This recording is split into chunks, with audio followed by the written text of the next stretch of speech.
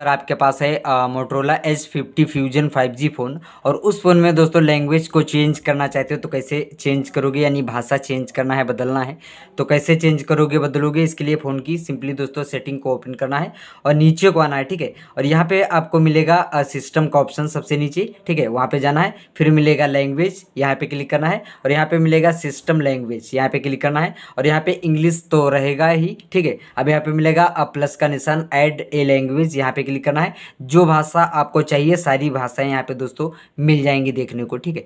अब जैसे हमें एग्ज़ाम्पल हिंदी चाहिए तो हिंदी पे क्लिक करेंगे और हिंदी यहाँ पे दोस्तों आ जाएगा, लेकिन अभी ये लगा नहीं है।